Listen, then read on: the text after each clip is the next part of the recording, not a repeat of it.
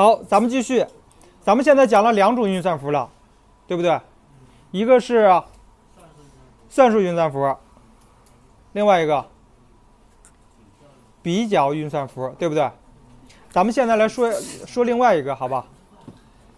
另外一个外呃另外一个比较简单，它叫赋值运算符。赋值运算符，咱们先说赋值运算符。刚才说的那都是最简单的。什么呀？刚才说的。说的什么呀？就刚才你让我们练这个。对呀、就是呃，不是，如果说最简单的程序是什么？就是 Hello World。Hello World。这个比 if 呃求那个求三个方法了，不是也不是说不是代从那个逻辑上是这样的，但是说它的代码量不是最少的，哦，因为我中间有段代码是重复的，你看看到了吧？然后是，咱们讲一下赋值运算符，好吧？嗯，赋值运算符，咱们接触的目前咱们接触的接触到的复制运算符是哪个？等号，对不对？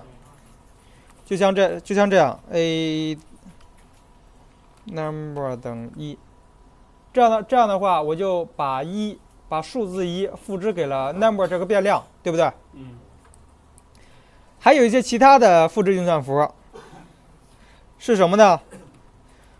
你们想想，那个算术运算符是不是有加有加减乘除啊？这样的话，加号等号连在一起就是一个复制运算符。有人知道它的作用吗？它等它等价于什么呀？咱们先看一下效果吧，好吧没效果。？number 变成二了。你看，你看，如果是这样的话，它等价于什么呀？是不是这样啊？嗯，咱们再这样做，如果说咱们再这样做一次的话，那么这时候应咱应该是是不是应该等于三呢？看到没有？这个呢，这个呢就叫，我也不知道它那个叫什么名字。它的作用呢就是说什么呀？它们两个是相等的，可以可以省一些书写的书写的内容。number 加等一等价于 number 等于 number 加一。如果说有了这个以后，其他的你们可不可以推出来呀？嗯，可以推出来是吗？加减乘除吧，嗯好吧。number 减等一，这个呢，现在 number 就会变成几啊？二。咱们看一下，好，等于二了嗯。它呢？它的等于价是等价什么呀？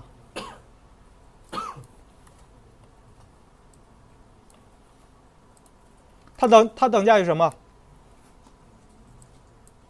减，减号对不对？嗯，还有呢，乘等于一。二吧，一看不出效果来。哦，对二乘数一直是一，number 就变成四了。等价还有呢，二二二除以除，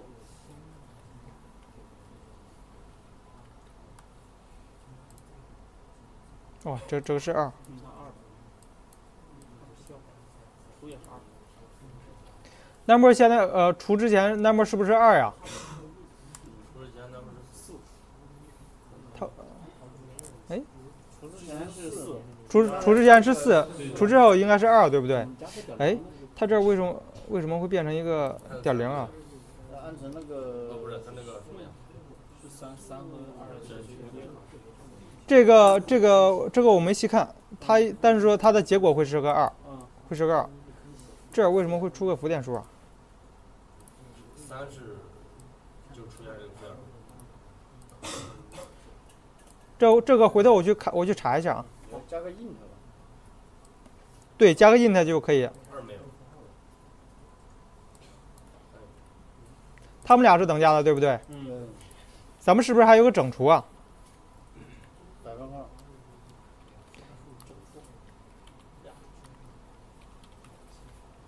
激动啊！哎，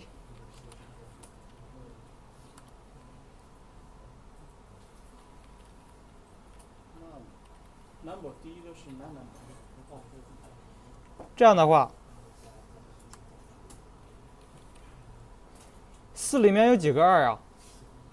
两个二，结果还是二。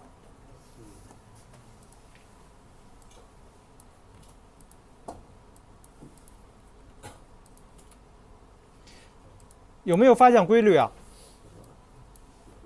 啊，有没有发现规律啊？都一样，你看啊，加减乘除整除，是不是跟是不是跟咱们那个算术运算符是对应的呀？那这样的话，是不是还有这个百分号？还有个什么呀？是不是应该还有这两个呀？咱们再看一下效果。啊，先这个吧。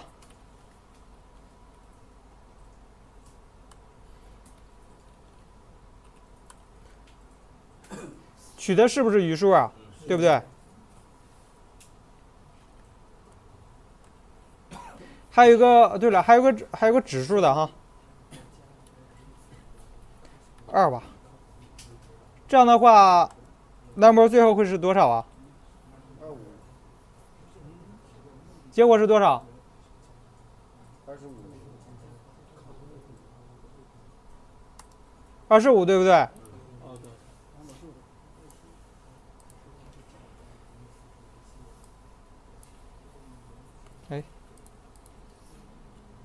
一个是百分号，一个是星星。百分号，星星。这个呢，就是咱们所有的赋值运算符，好吧？看是这些，我我没有没有落下啊，没有漏吧？嗯，呃，这个你们要试一下吗？有必要试吗？你们觉得？不用，其实呢，就是说，如果说你记住算术运算符了，赋值运算符你也就记住了，只是说再加多加一个等号，好吧？啊？整刚才刚才那样的代码，嗯那么一二三吧。那么一二三，这样咱们说下一个好不好？嗯，逻辑运算符，逻辑运算符有有这三个，not and are all。你看啊，咱们逻辑运算符呢，其实呢，它就是用来做逻逻辑运算的。咱们现前面是不是学了那个比较运算符啊？你每你每次做比较的时候，产它呢，其实其实呢，它就是一个条件儿，对不对？它呢成立或者不成立，对不对？怎么把这些条件多个条件连接起来呢？就用这儿的逻辑运算符。你看啊，是这样的。咱们先说 and 吧。and 是什么？and 它它 and 它的使用方式是这样的。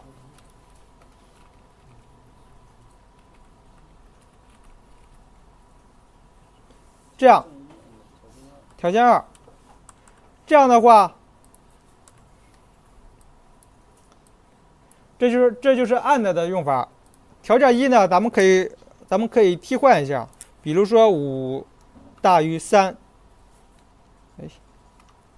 五大于三，六大于二。这样呢，这样的话呢，and 它是连接两个条件的。哎，那我问你，那我问大家，就是说现在你们觉得这个结果应该是多少啊？为什么是 true 啊？两个都是处，它的结果都是 true，对不对？咱们看一下，好吧？咱们看一下，这是，哎，粘粘不进去啊，手写吧。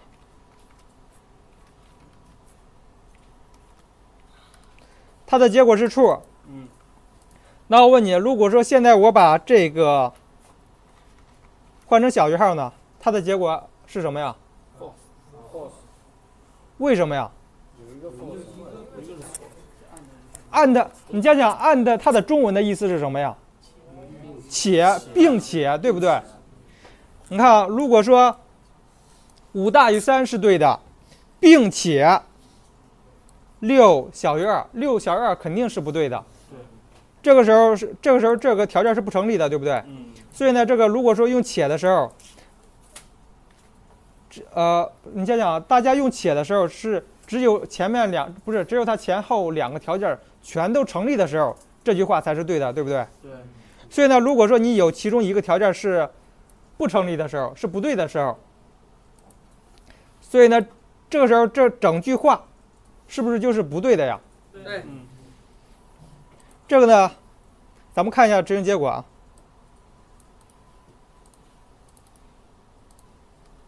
它是 false。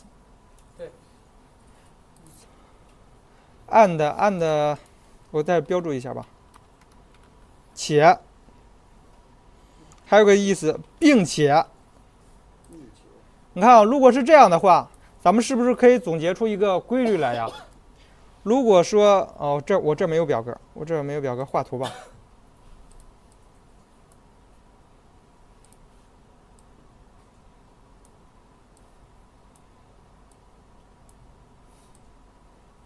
我打对勾吧，好吧？好。对勾就是那什么，就是表示正确，叉呢就表示不对，true 分别表示 true 和 false，好吧？好。如果说咱们这是 and，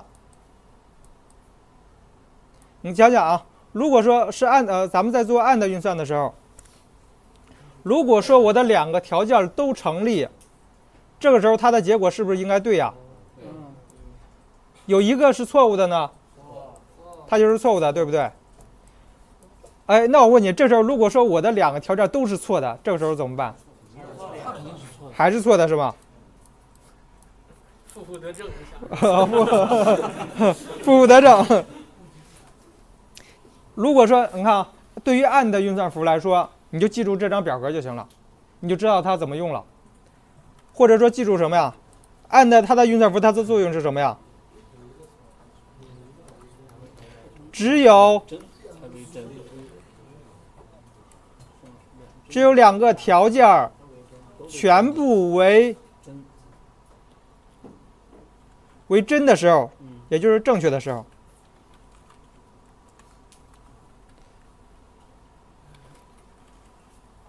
它的结果，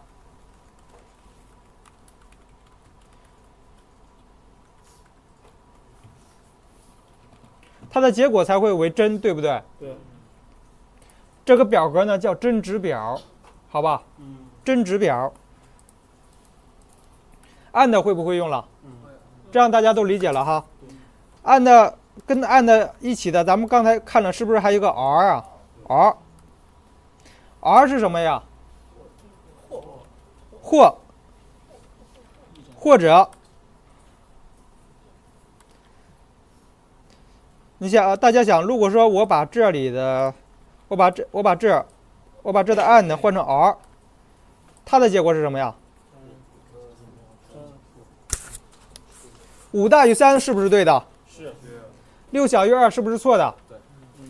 他们俩，五五大于三，大家想啊，这是真。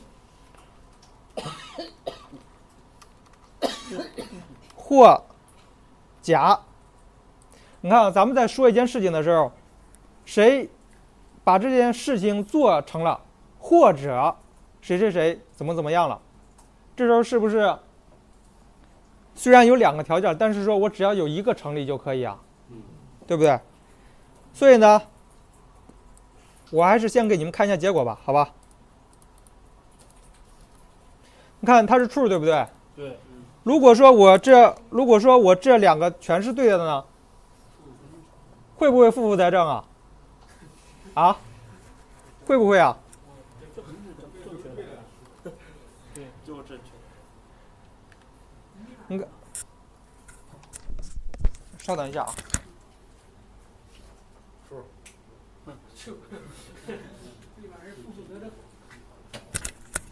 你看啊，现在这个结果是多少？五大于三，对不对？对，六大不大于二。两个都是两个都是真，对不对？它的结果就是真。嗯，五小于三吗？不小于三哈。嗯，六也不小于二，嗯两个条两个条件都是不对的不对，，false。它的结果是多少？会不会负负得正？不会不会。它是 false，对不对？对。咱们再看啊，咱们再看，如果说是这时候，咱们还是看这张表。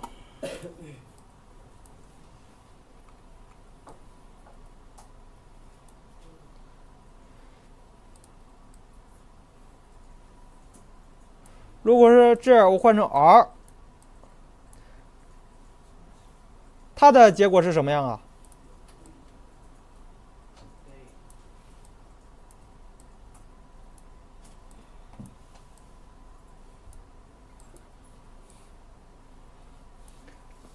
我这四个格里面应该怎么画呀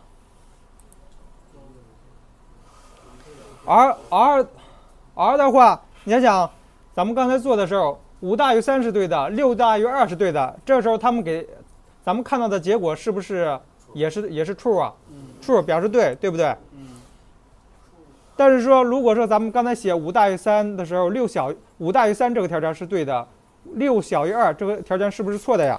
但是它给咱们的结果是不是也是 true 啊？嗯所以呢，这里的它就是对，打对勾，表表示 true。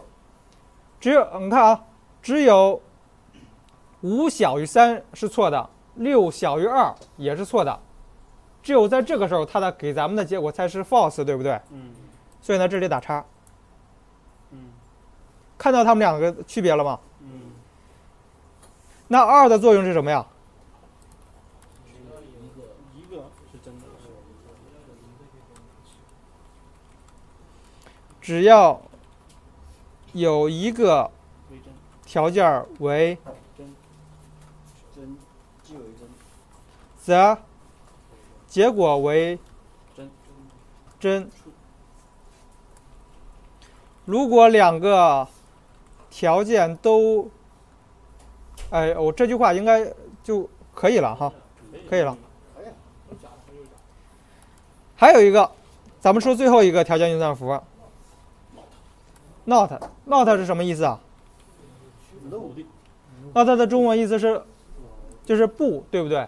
跟它跟 no 很相似。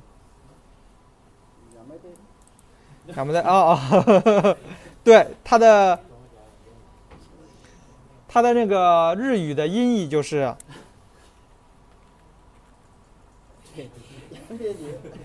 一种神奇的蝴蝶，一种神奇的蝴蝶啊。它的作用是什么呀？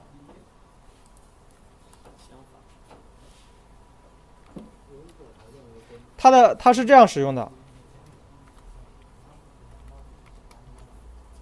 这个时候我的结果应该是多少？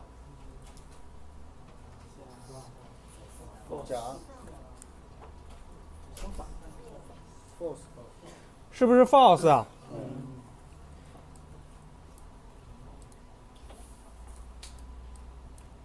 如果说这种情况呢非真即假，非假即真。上面是假，下面肯定是真。哼，啊，好好强的逻辑推断能力哈。它有两个条件，啊，两个条件。这里这里这里逻辑运算符大家能明白吗？啊，它们之间，我问你，他们之间有没有优先级？你看啊，如果说我写一个，我先写一个啊，我先随便写，先不要管是什么，a 大于 b，and 系大于 d，或者 not a 不是 not f。这时候它们之间应该怎么运算呢？它们之间有没有优先级啊？你们觉得？没有吧？没有优先级，就是说先我先算这样，先算这个，然后再这个，然后再或，然后这个，它们之间的优先级是什么样的？从左到右。其实啊，我跟你说，它们之间的优先级你都不用记，你知道为什么吗？因为因为因为如果因为这些东西吧，经常会被记混，记混，包括我也是，我也我也经常记混，所以怎么办呢？怎么办啊？不用记啊，是是不用记啊。咱们假设说啊，这个时候我不知道它们之间的优先级，但是呢，我希望按照我的条，我希望呢，我希望呢，我先我先算这个，我希望先算这个，先我先算出这个以后，再让再让它的结果去跟这个去做 and 的运算，这时候怎么办呢？括号优先级。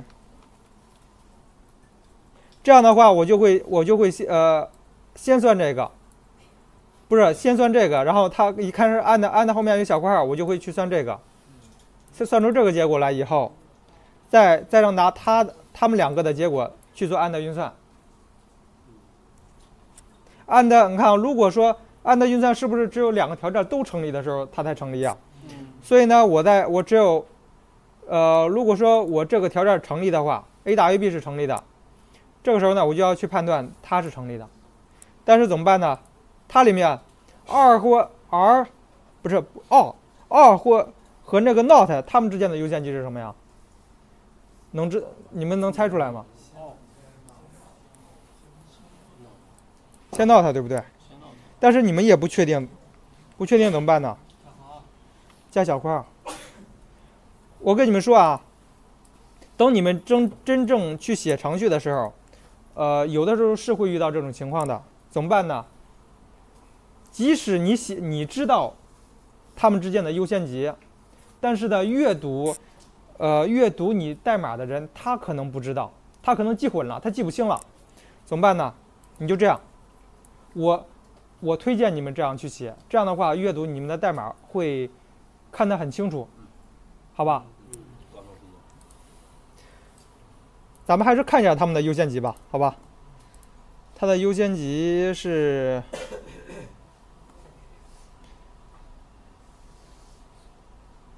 他们是并列的，是吧？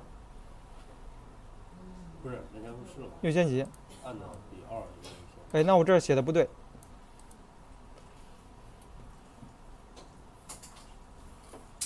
他们他们之间是有优先级的，是有优先级的，但是呢。还是说，咱们试一下吧，好吧？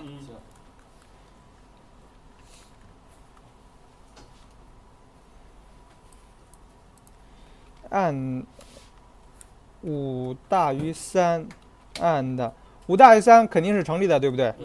这时候呢，我要执行，呃，四大于四小于三吧。四小于三，这个结果是不对的，或者，咱们再写个真真的六大于五。你看，如果咱们想这时候，如果说，如果说，如果说二的优先级高，如果二的优先级高，它就会先算它两边的，对不对？对。先算它两边的，然后把。先算谁就是真，你看，不是，如果二它旁边必须得有两个东西，对不对？如果说，你看，你把五大于三。如你看，如果如果二比如果 r 比那个 and 的优先级高，它就会先算四的四小于三和六大于五，是不是？是，它的结果，你看，对于这个结果来说，它的结果是真，对不对？对啊，这个时候，在做 AND 运算，它的结果就是真。但是呢，还是真，呃，所以正写还真。啊，也是啊，也是他的结果，他结果还是真。你把六小把六大于五改成六小于你把你把五大于三改一下比较好。对，把不到你把第一个改了，后边改。是这样吗？那个你把你把第一个改了，第一个改。这样啊，这样这样就这样的话应该是 false，对不对？嗯。嗯，按按的优先级高。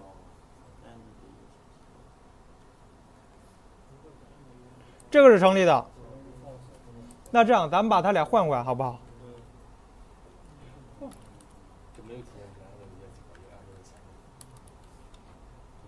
这样的话，它的结果应该是多少啊？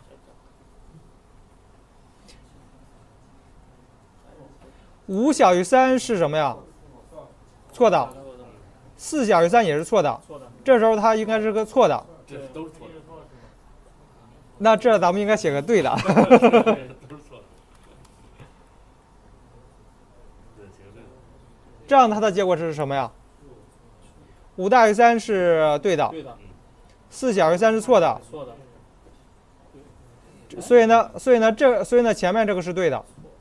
它这不这也这也都是对的，这也都是对的，这样嗯，对不对？按的这肯定是对的，这个东西全对的。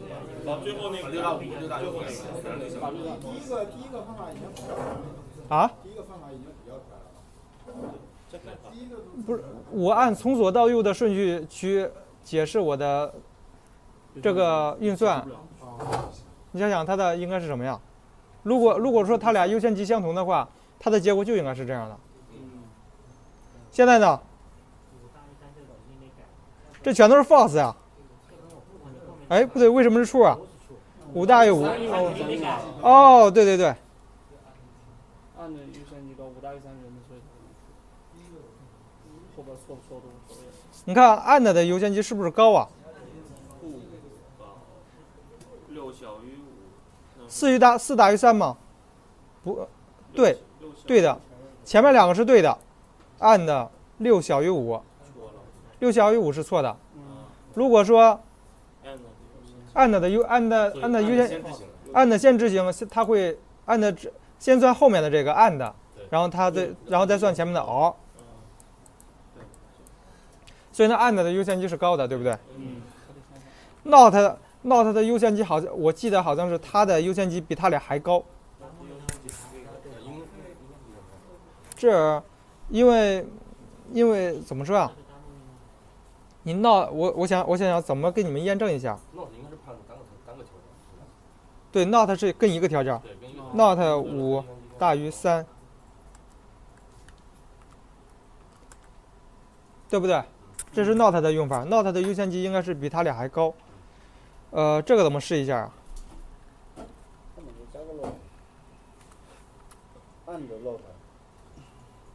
我这样可不可以啊？嗯，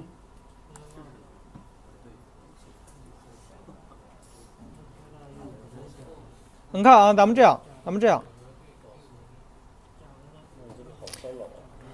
六大于五是对的，五大于三是对的。嗯，你就把上面那个先把 not 先按 not 六大于五，先不要跟 out 比较。就把上面那个六 not 六大于五。对，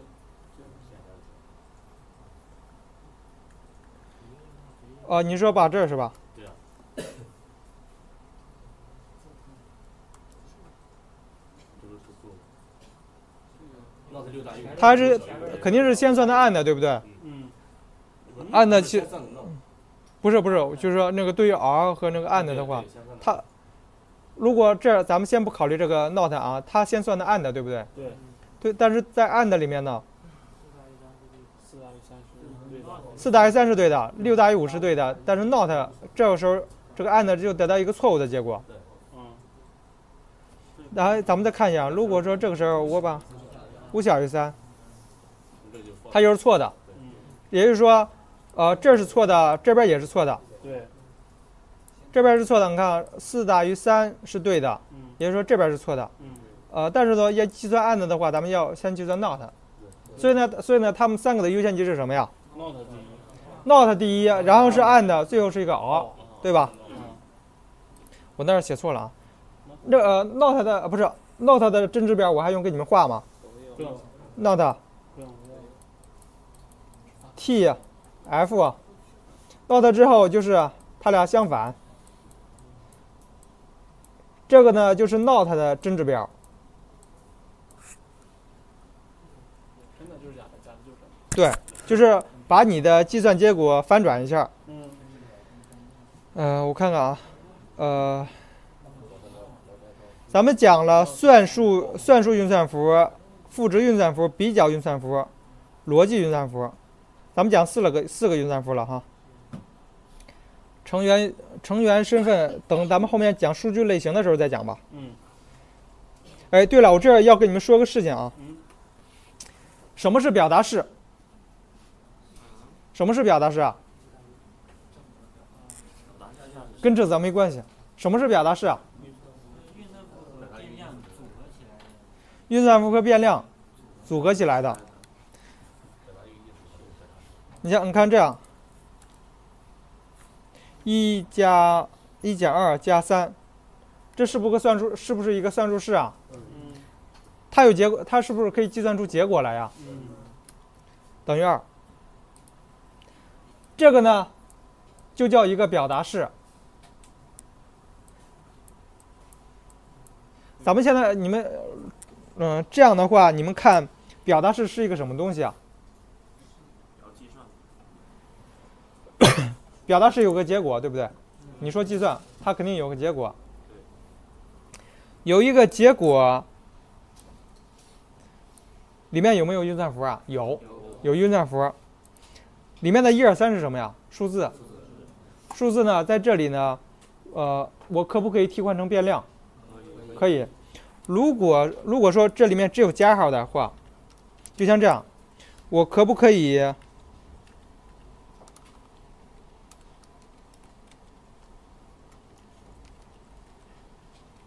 我可不可以这样？这也叫一个表达式。简单的啊，就是说，你看咱们看表达式是什么呀？表达式是，你看啊这是运算符，对不对？但是但是运算符两边的内容，咱们能说是固定的某一种类型吗？不能，所以呢，这呢，咱们管它叫操作数。操作数。表达式呢，就是由运算符和操作数结合起来的一个东西。